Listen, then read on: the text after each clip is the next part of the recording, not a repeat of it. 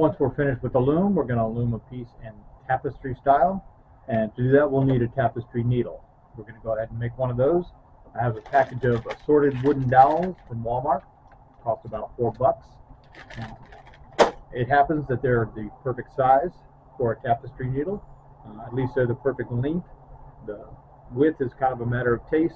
I prefer this. So I'm going to go ahead and make a tapestry needle out of this dowel. And all I'm going to need for that is drill, one eighth inch bit, a drill block because I'm definitely not sure-handed enough to drill through this correctly. And luckily this accepts a groove, fits in perfectly. And I'm going to leave about a quarter of an inch sticking out.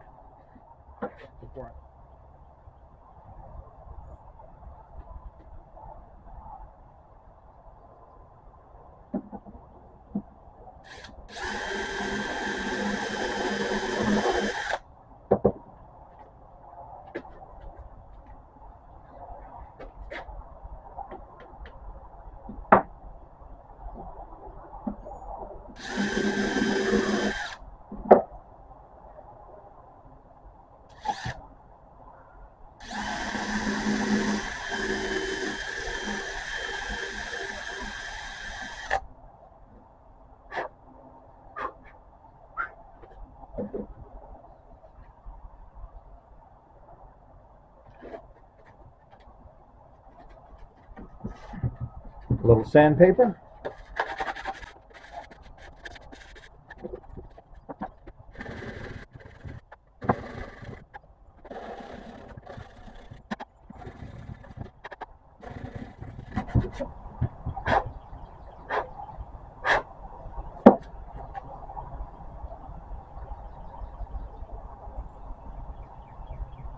Okay, now we need to have a little point on our tapestry needle.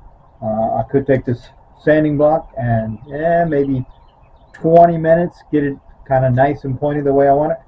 But instead,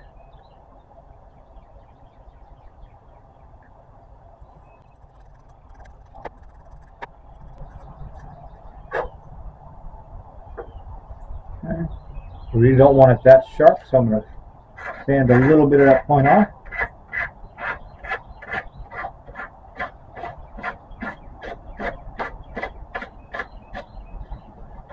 Smooth it out. And then I'm going to elongate it just a bit.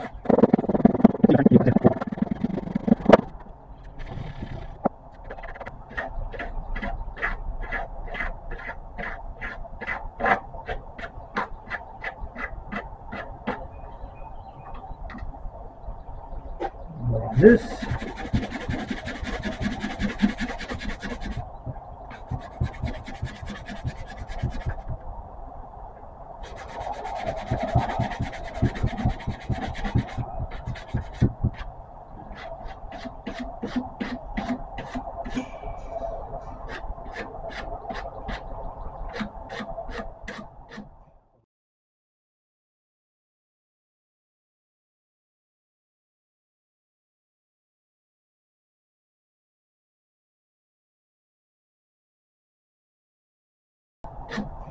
Camper on the end.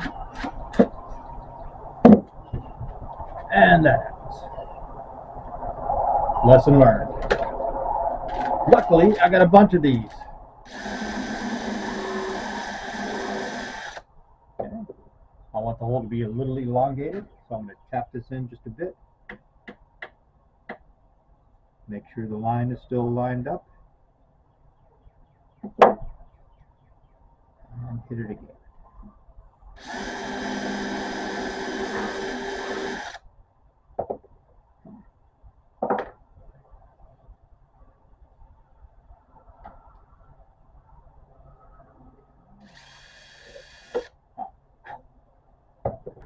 And there we have a rough figure eight.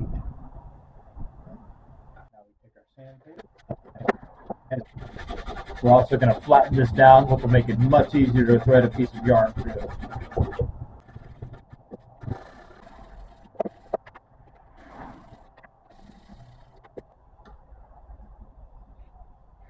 Just this little in the middle. There we go. Ah. Beautiful. Sand that just a little more. Put a little camphor on the end here. Sorry, chamfer.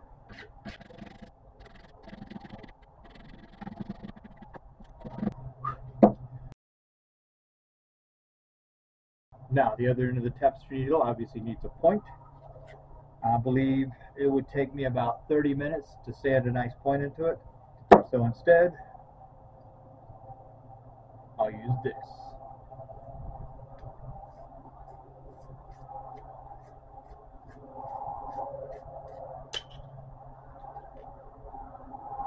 Okay. They're just not making school supplies like they used to. So back to the sandpaper.